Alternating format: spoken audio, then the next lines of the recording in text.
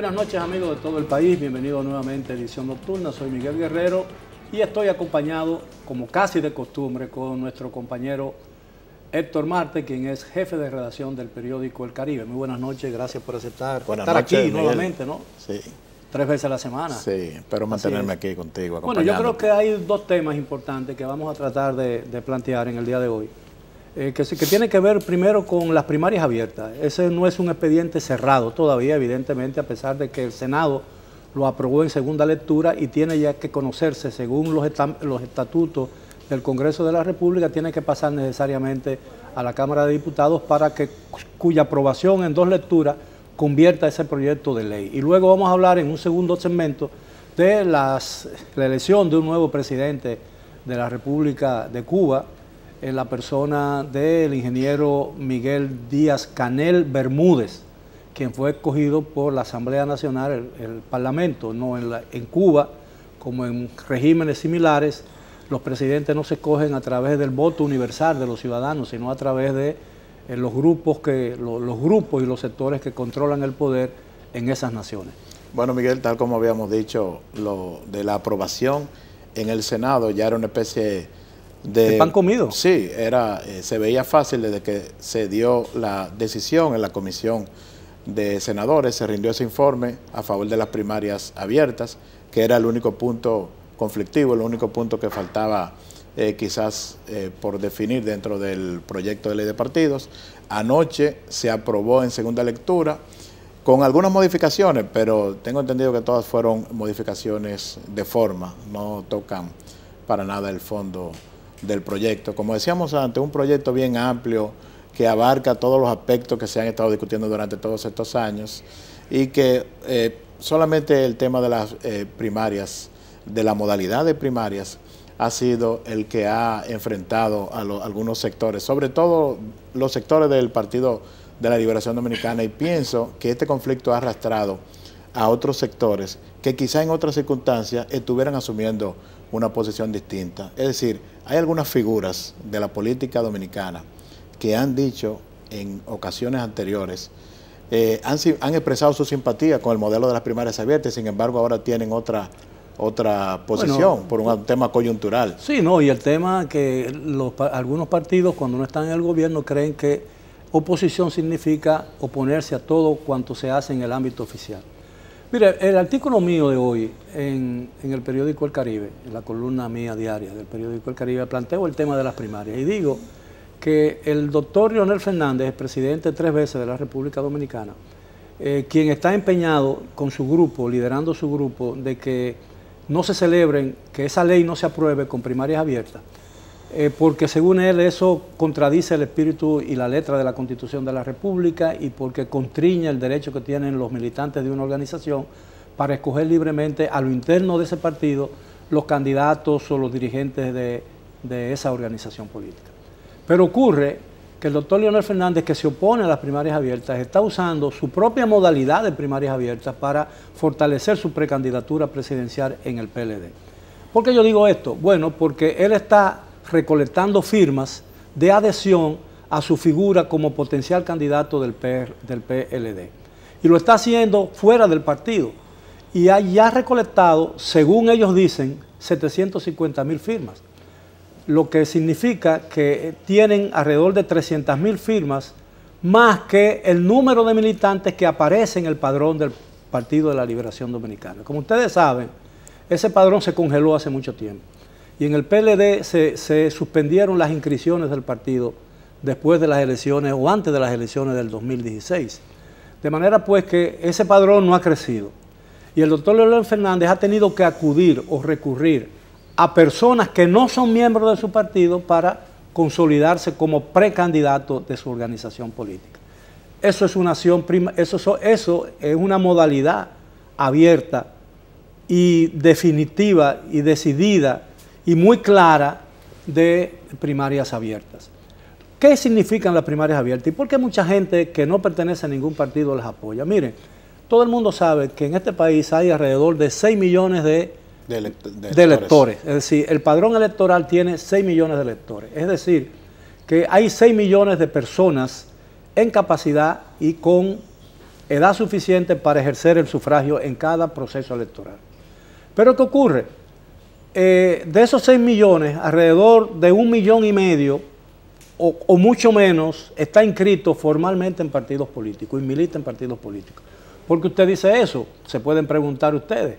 Bueno, yo lo digo porque el padrón electoral del PLD conocido ronda por los 425 mil o 450 mil si usted quiere.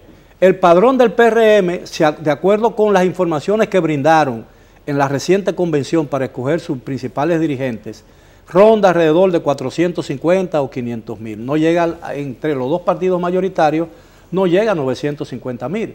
Y ninguno de todos los otros partidos, los 26 o los 100 mil partidos políticos que puedan existir en la República Dominicana, no llegan al millón de, votos, ni llegan ni siquiera a 500 mil.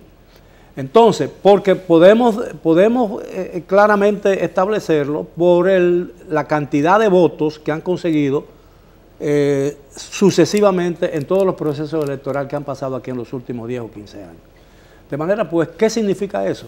Que de 6 millones de personas aptas para votar, solamente alrededor de un millón y medio, y cifras muy exageradas si se quiere, eh, eh, eh, militan en partidos políticos, lo cual quiere decir que cuatro millones y medio de electores dominicanos, tres veces la cantidad que está inscrita en partidos políticos, está vedada o, se le está prohibida por las, primarias, por el concepto de primaria cerrada, participar en la selección de los candidatos de los diferentes partidos.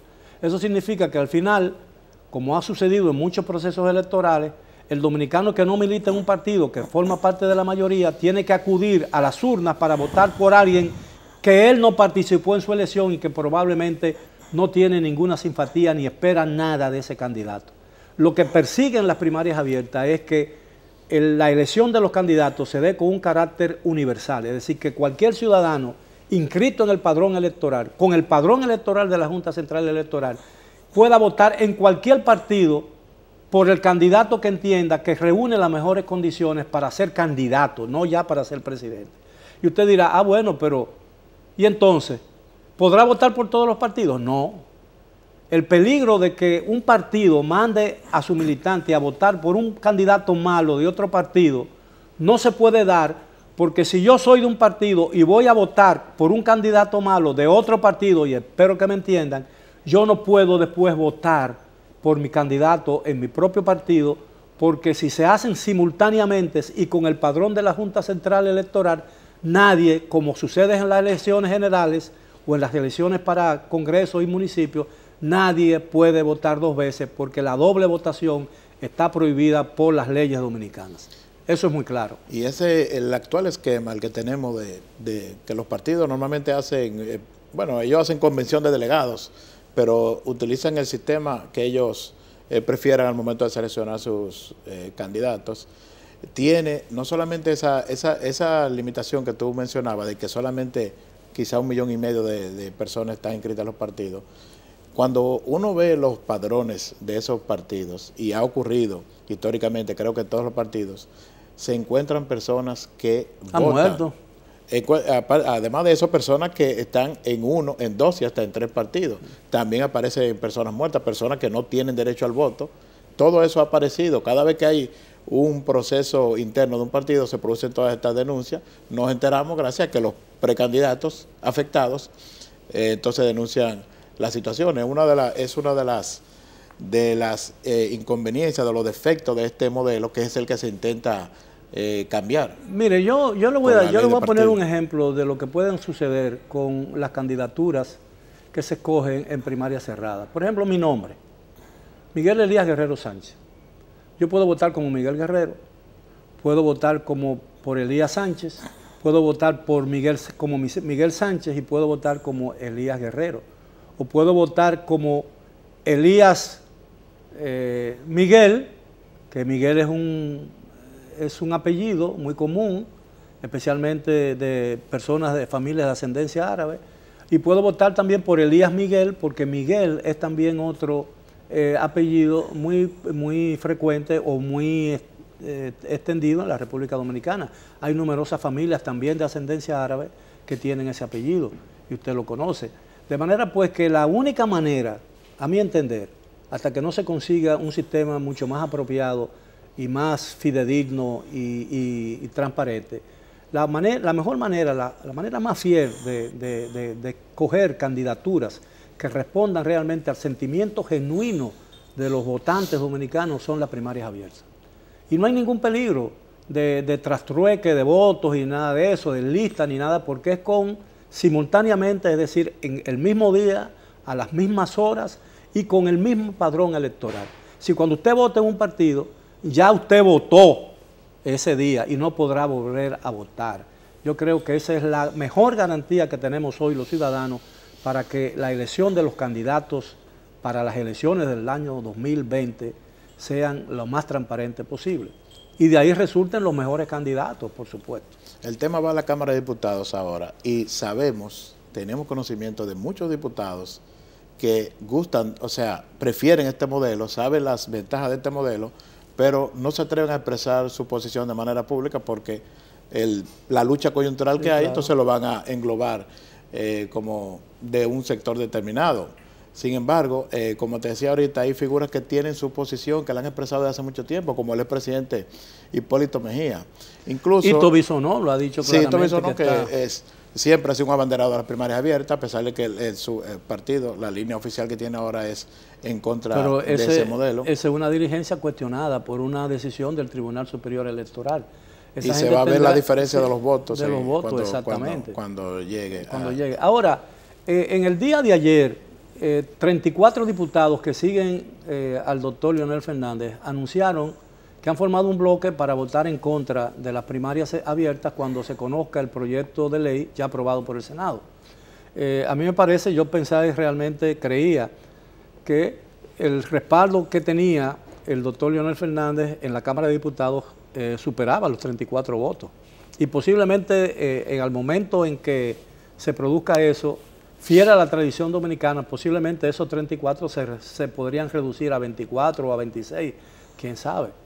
Eh, a mí yo tengo la impresión, tengo el pálpito de que a través de negociaciones eh, con la oposición y con los propios agentes de su partido, la, la, facción que encabeza el doctor, el licenciado Danilo Medina, dentro del Partido de la Liberación Dominicana, se está agenciando o ya se ha agenciado los votos suficientes en la Cámara Baja, es decir, la Cámara de Diputados, para que el proyecto de ley de partidos políticos con las primarias abiertas se convierta en una ley de la nación. Yo creo que sí, que es un proceso que tiene que estar en marcha. Eh, el presidente de la Cámara de Diputados, que debe en algún momento colocarlo en agenda, porque es un asunto de procedimiento, sin embargo, la declaración que veo de él del día de hoy, parecería como que él tiene la intención de eh, no engavetarlo, pero por lo menos darle la más vuelta posible al proyecto, porque él está hablando de mesa de diálogo, de concertación, de que opinen. Realmente ese proceso se hace antes de, de los proyectos, no después de... No, pero además eso tiene otra lectura obligada, y es el hecho de que eh, quizás la facción del doctor Leonel Fernández se esté fraccionando eh, y, esté también eh, muy fracturada, al igual que evidentemente la unidad del partido lo está, porque la manera en que se pronuncian y se expresan públicamente ya fuera en el plano personal de una manera muy eh, poco caballerosa y grotesca, yo podría decir, dirigentes de una facción contra dirigentes de otra facción, indica claramente que las cosas no están bien dentro del Partido de la Liberación Dominicana y que posiblemente está más cerca de lo que se podía pensar de una posible división o de una posible, eh, diría yo, escisión eh, cuya dimensión es imposible predecir ahora, pero de que el partido está fracturado, evidentemente está fracturado y que las posibilidades de una concertación que evite que esa fractura eh, se agrave eh, no parecen, no se ven a simple vista, no se ven en a, lontananza en este momento y pues, debemos esperar, yo creo que el tiempo dirá, y cuando esto baje a la Cámara de Diputados, uno podrá por lo menos observar el nivel en que la división o las diferencias internas han alcanzado en el Partido de la Liberación Dominicana. Que, solamente habría que dar una vuelta por Twitter y ver algunas ah, cuentas, algunas algunos pronunciamientos que están haciendo para confirmar eso que usted está diciendo de cómo están caldeados los ánimos. Eh, dice el, vocero de prensa del presidente del presidente Leonel Fernández que los senadores que votaron a favor de su partido, que votaron a favor de, las de la ley de partidos con las primarias abiertas, son unos pica pica.